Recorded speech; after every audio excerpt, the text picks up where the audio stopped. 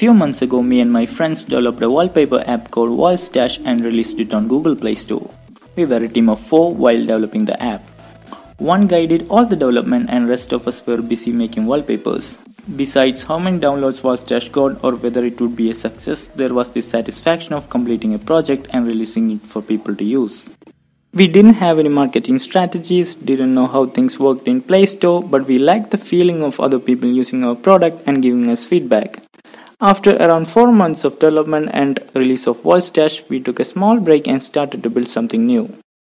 So after wallpaper app, we started to build a game. After 2 months of learning Unity, we started to create our own game called Topple. Topple is a light-based game where you control the ball to reach the bottom by avoiding some obstacles before light runs out.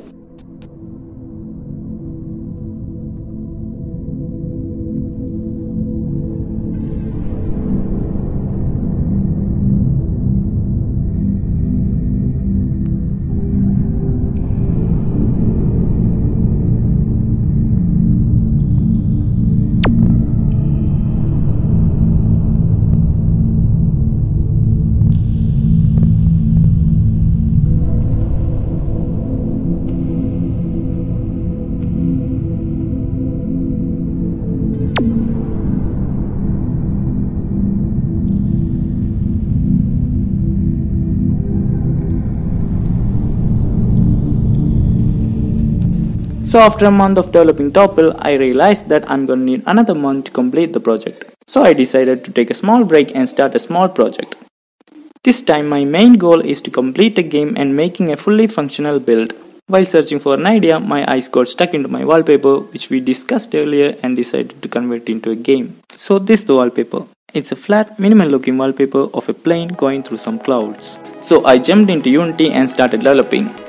A big thanks to Brackeys and Blackthorn Prod for sharing great content which turned out to be a big help for someone who is starting out, just like me.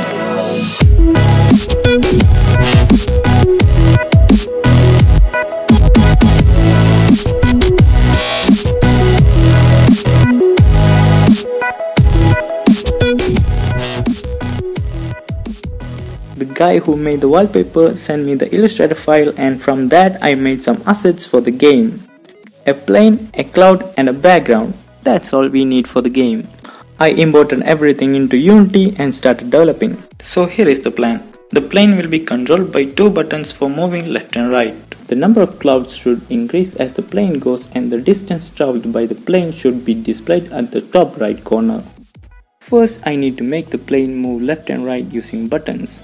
So I created a button in Illustrator and imported into Unity. Did some simple coding and now the plane can move left and right using buttons. Next task is spawning of clouds.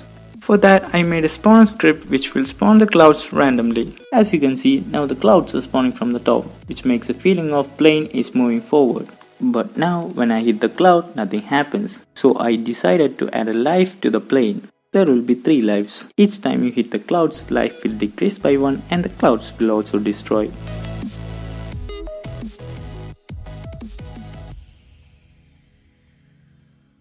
Add some choppiness to the game, I created some particle effects. I made a smoke like particle effect and did a little bit of coding. Now when your life is 1, the plane will act like its engine is damaged. And now the game is complete. Now I can build the game and play in my Android device. That's pretty much it. If you like this video, please subscribe and hit the bell icon to get notified every time I upload a new video. And I am planning to make some changes to this game and release it on Google Play Store. Another game Topple is also in development so hit that subscribe button to never miss out the release of these two small games. And that's it. Thanks for watching and I will see you in my next video.